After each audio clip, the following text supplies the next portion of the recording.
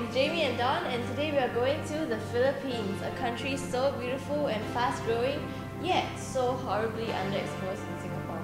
That's right, here we are today at Bonifacio where there's so many gorgeous art pieces just decorating the walls of the place, sharing more about the history and culture of Philippines.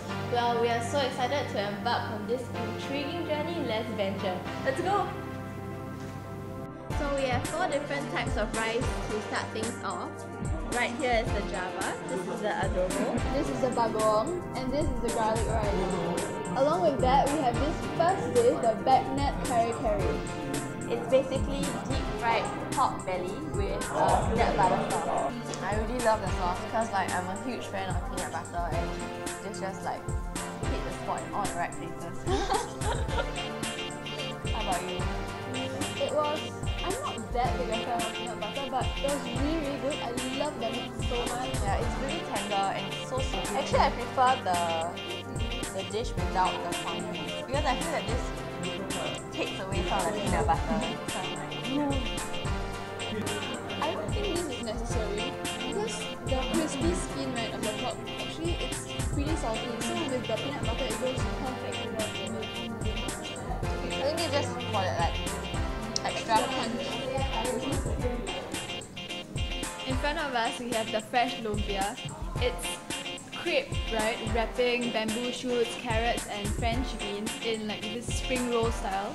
And it's drizzled with a generous topping of lumpia sauce. So it looks really appetizing.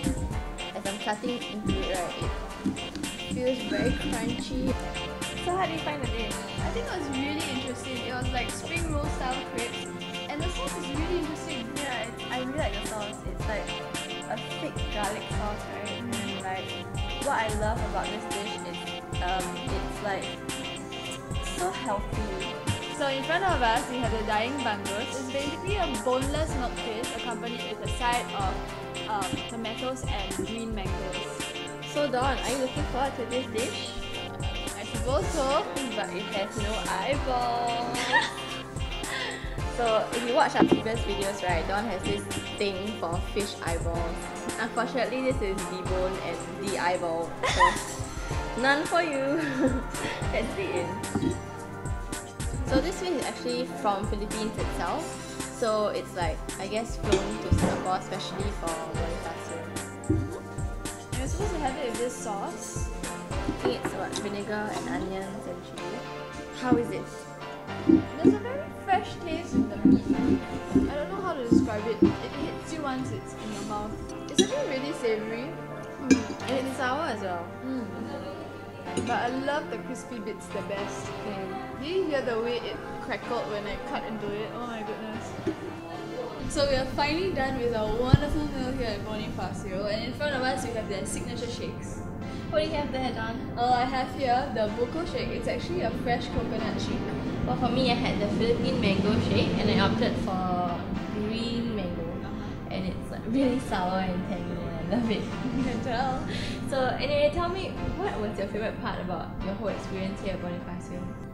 This place was really, really done up beautifully. I love the decor. It is filled with so many wonderful paintings, actually bringing the culture like right here, right into the restaurant. Yeah, and another favorite part was actually one of the dishes we had, which was the taro. I didn't think like vegetables or rather taro would like taste like that.